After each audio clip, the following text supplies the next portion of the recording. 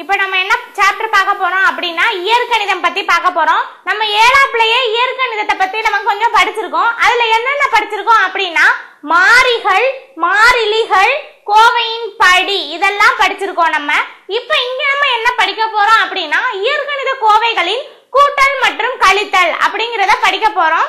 First நம்ம ஏற்கனவே படி செவன்த்ல படிச்சதை ரீகால் பண்ணிக்குவோம். அதாவது ஸ்மால் ஏ பி சிடி இந்த மாதிரி இருக்கிறது எல்லாமே என்னதுன்னா மாறிகள் அப்படின்னு சொல்லுவாங்க.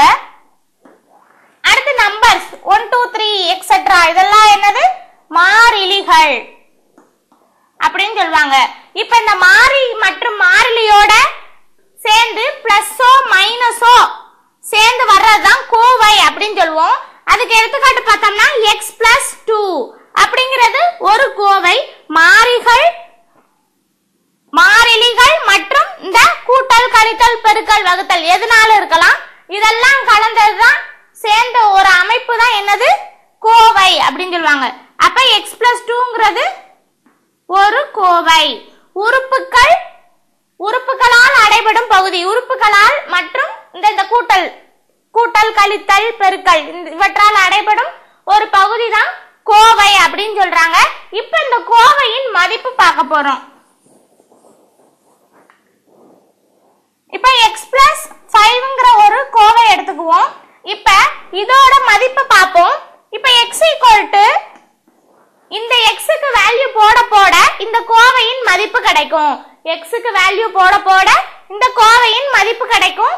அப்ப எக்ஸ் ஈக்குவல் டு ஒன்னு அப்படின்னு சப்ஸ்டிட் பண்ணுவோம். எனில் x plus five equal to ஒன்னு பிளஸ் அஞ்சு ஈக்குவல் டு ஆறு. எக்ஸ் ஈக்குவல் டு ரெண்டு சப்ஸ்டியூட் பண்ணா x plus five equal to ரெண்டு பிளஸ் அஞ்சு ஏழு. இப்போ எக்ஸுக்கு ஜீரோ சப்ஸ்டியூட் பண்ணி பார்ப்போம். X plus five equal to zero plus five equal to five அடுத்து மைனஸ் வேல்யூ substitute பண்ணலாம். எக்ஸ் to minus மைனஸ் நா x plus five equal to இதுக்கு பேல மைனஸ் ஒன்னு பிளஸ் அஞ்சு. Equal to plus மைனஸ் வேற வேற சிம்பலா இருக்கு. அப்ப நம்ம என்ன செய்யணும்? கழிக்கணும். அஞ்சுல ஒன்னு போச்சுன்னா நாலு. எந்த பெ- எது பெரிய எண்ணோட குறியத்தான் அங்க போடணும். பெரிய எண்ணோட குறி பிளஸ் அதனால அப்படி இருக்கலாம். அடுத்து x equal to minus two அப்ப x plus five equal to minus two plus five அஞ்சில் ரெண்டு போச்சுன்னா மூணு. இங்கே பிளஸ் இருக்கனால இங்கேயும் plus x equal to minus six அப்படின்னு எடுத்துக்குவோம். X plus five equal to minus six plus five ரெண்டு வெவ்வேறு அடையாளம் இருக்கு. அப்ப என்ன செய்வோம்? கழிப்போம். ஆறுல அஞ்சு போச்சுன்னா ஒன்னு அதுக்கப்புறம் பெரிய எண்ணோட குறி மைனஸ் அப்ப மைனஸ் ஒன்னு அப்ப ஒரு கோவை எடுத்துக்கிட்டோம். எக்ஸ் பிளஸ் ஃபைவ்ங்கிற கோவை எடுத்துக்கிட்டு அதோட மதிப்பு இப்ப கண்டுபிடிச்சிட்டோம். அடுத்து நம்ம இயற்கணித உறுப்புகள் காரணிகள் மற்றும் கெழுக்கள் பார்க்க போறோம். இப்ப இதுல ஒரு கோவை எடுத்துக்குவோம் முதல்ல. டூ எக்ஸ் பிளஸ் த்ரீங்கிறது ஒரு கோவை தானே. இதுல இது உறுப்பு ஒன்னு இது உறுப்பு. இதுதான் ஒரு உறுப்புன்னு சொல்றோம். இது உறுப்பு இன்னொரு உறுப்பு. அப்ப ரெண்டாவது உறுப்பு. இது உறுப்பு ரெண்டாவது உறுப்பு இது உறுப்பு ஒன்னு இப்ப இது எல்லாமே சேர்ந்தது என்னது? கோவை. இது எல்லாம் சேர்ந்தது கோவை. இப்ப கெழுக்கள் அப்படின்னா என்னன்னா இந்த எக்ஸ் ஒரு மாறிக்கு முன்னாடி இருக்கிறது தான் கெழு. நம்ம ஏற்கனவே செவன்த்ல படிச்சிருக்கோம். இந்த மாறி இருக்குல்ல எக்ஸுங்கிறது தானே மாறி? இந்த மாறிக்கு முன்னாடி இருக்கிறது தான் கெழு. அப்ப ரெண்டுங்கிறது கெழு. அடுத்து காரணி அப்படின்னா என்னன்னா இது ஒரு காரணி. இந்த ரெண்டுங்கிறது ஒரு காரணி.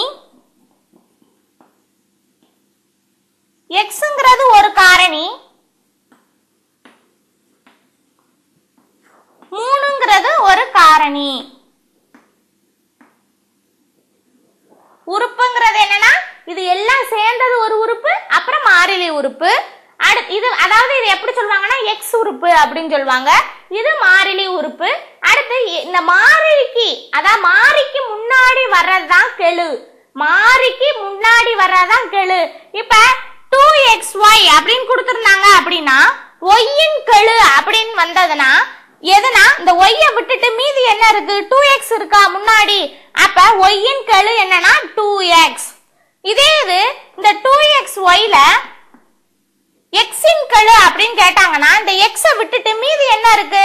ரெண்டு இருக்கு ஒய் இருக்கு. இது எல் ரெண்டு சேர்ந்ததான் அப்ப டூ ஒய் தான் எக்ஸின் கெழு அப்படின்னு சொல்றாங்க. இங்க ஒய்ய விட்டுட்டு மீதி என்ன இருக்கோ அதுதான் கெழுன்னு சொல்லுவோம். அடுத்து இதே இது எக்ஸின் கெழுனா எக்ஸை விட்டுட்டு மீதி என்ன இருக்கோ அதுதான் எக்ஸின் கெழு. இது வந்து வெறும் எக்ஸ் உறுப்பு மட்டும் இருக்கிறனால இதுக்கு அப்புறம் வேற என்ன இருக்கு? ரெண்டு மட்டும் தானே இருக்கு.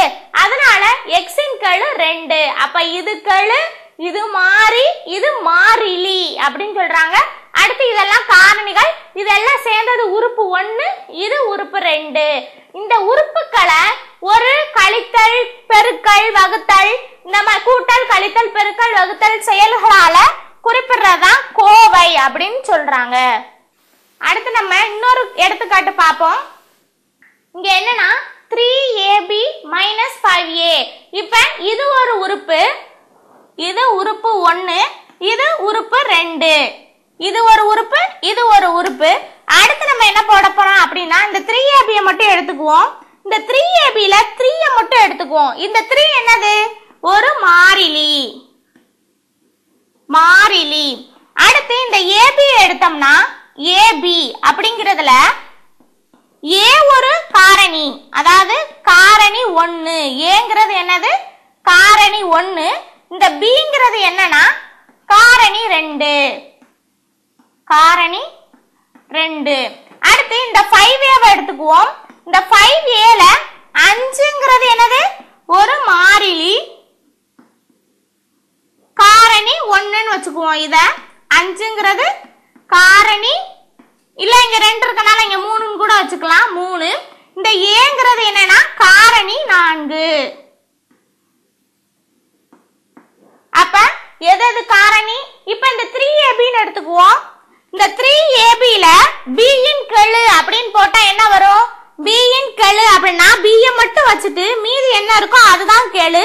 அப்ப த்ரீ ஏ பியின் கெழு த்ரீ ஏ அடுத்து ஏயின் கெழுன்னு பார்த்தா ஏவை மட்டும் வச்சுட்டு மீதி என்ன இருக்கோ அது. அப்ப த்ரீ பி அது வந்து என்னது? ஏயின் கெழு. இதுதான் கெழுக்கள். இது காரணிகள் மற்றும் மாறிலினா என்ன அப்படின்னு பார்த்தாச்சு. உறுப்புகள்னா இது எல்லாம் சேர்ந்தது ஒரு உறுப்பு இது தனி எல்லாம் சேர்ந்தது ஒரு உறுப்பு. ஏன் அப்படி? தனித்தனியா உறுப்பு ஒன்னு ரெண்டுன்னு எழுதுறோம்னா நடுவுல ஒரு குறி இருக்கும் பிளஸ் மைனஸ் இந்த மாதிரி ஏதாவது ஒரு குறி இருந்தா அதுக்கு முன்னாடி இருக்கிறது ஒரு உறுப்பு பின்னாடி இருக்கிறது ஒரு உறுப்பு. இதுதான் காரணிகள் உறுப்புகள் மற்றும் கெழுக்கள்.